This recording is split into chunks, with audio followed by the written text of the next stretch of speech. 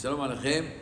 סיפור נפלא, באמת שמעורר אותנו, מעורר כל יהודי ויהודי, לראות שיש אלוקים.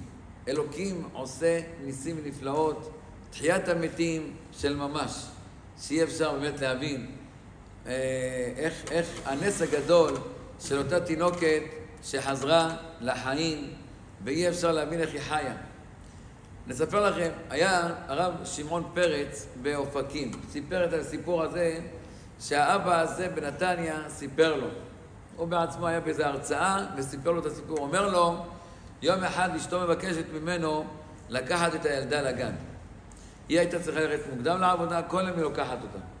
והוא אמר לה, טוב, בסדר, הוא יש לו בית דפוס בנתניה, נסע לשם לעבודה, לקח את הילדה. בשמונה בבוקר הוא מגיע לעבודה, ונכנס לעבודה והכל בסדר. בשעה אחת מתקשרת אשתו, שלא ישכח להחזיר את הילדה מהגן, הגן נמצא קרוב לעבודה. הוא הולך ברגילי, הוא הולך ברגל לגן כדי להביא את הילדה. הוא הולך לשם, אומר לגננת, איפה הילדה? היא אומרת לו, אשתך לא הגיעה. לא הביאה את הילדה. ואז תופס את הראש, אומר, הוא שכח אותה באוטו, בכלל הוא לא לקח אותה לגן. הוא רגיל ללכת לעבודה. הוא לא רגיל לקחת את הילדה לגן, והיא אמרת לו, תיקח את הילדה לגן. הלך לבית דפוס, הלך לעבודה, ושכח אותה באוטו. בקיצור, משמונה בבוקר עד אחד בצהריים. בחום החמסין, האוטו סגור, נעול, הילדה חנוכה שם. שעה לא מחזיקים, חצי שעה, שעה זה כבר אה, גג. בקיצור, הוא שמע את זה, הוא התקשר מיד להצלה, שישר יבואו לאוטו. הוא ידע שהולך לקרות משהו הכי גרוע, הוא ידע בטוח שהילדה שלו לא תחזיק מעמד.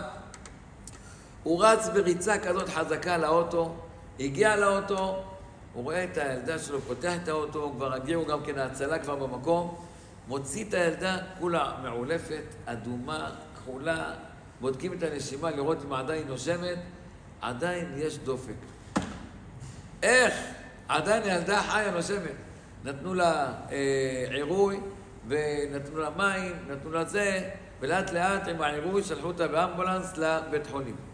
בבית חולים הצליחו איכשהו לייצב אותה, הרופא, הדוקטור יוצא, אומר, אני לא מאמין שהיא חיה. איך היא חיה? חמש שעות, הייתה באוטו סגור, ביום החמסין, 70 מעלות בתוך האוטו. 70 מעלות, באוטו חם סגור, אוטו שחור, ונגמר הסיפור. בחמש שעות הילדה שמה ועדיין היא חיה. הוא אומר, זה, זה נס אלוקי. טוב, האבא מספר, לא תאמינו, זה רק התחיל הסיפור. מה התחיל הסיפור? הילדה חיה. בלילה הוא יושן בלילה במיטה, והנה הוא מרגיש שהוא עולה לבית דין של מעלה, ובית דין של מעלה אומרים לו שנגזרה גזרה על הילדה שהיא צריכה למות. ואת מי הוא רואה מולו? לא פחות ולא יותר את, את הרב עובדיה יוסף, זכר צדיק הוא רואה את הפנים שלו. אומר לו הרב, תדע לך, אני ישבתי בבית דין של מעלה בשעה שרצו לגזור גזירה על הבת שלו, שאמרתי להם שאתה, יש לך בית דפוס, ואתה, ואתה מפיץ את כל העלונים האלה בחינם, כל הסטיקרים על המכוניות, תודה רבה להשם, שמרו שבת, קדושת השבת כי ישמרה שבת אל ישמרני. כל, ה, כל הסטיקרים אתה עושה בחינם, מזכה את הרבים בכל הארץ. אמרתי להם, רבותיי, תרחמו על הילדה שלו, כיוון שאבא שלה מזכה הרבים.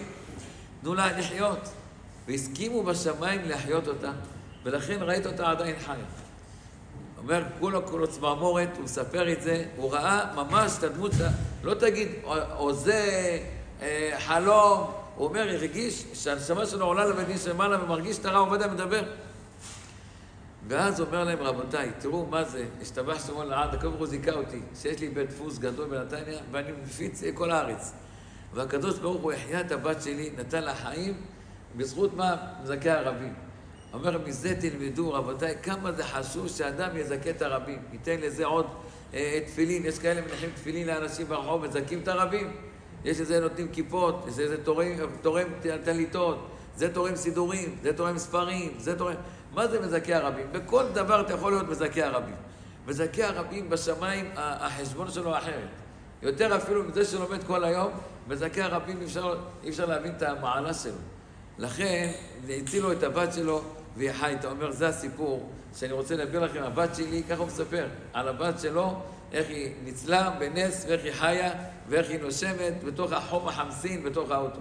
יהי רצון שהקדוש ברוך הוא יזכה אותנו לזכות את הרבים, וכל אחד ואחד יכול לעשות בבית שלו, בבית, לילדים, לאשתו, לזכות על ידי ברכות, על ידי דברים טובים, זה נקרא זיכוי הרבים. זכנו השם בדברים טובים, וכן יהי רצון ולומר אמן.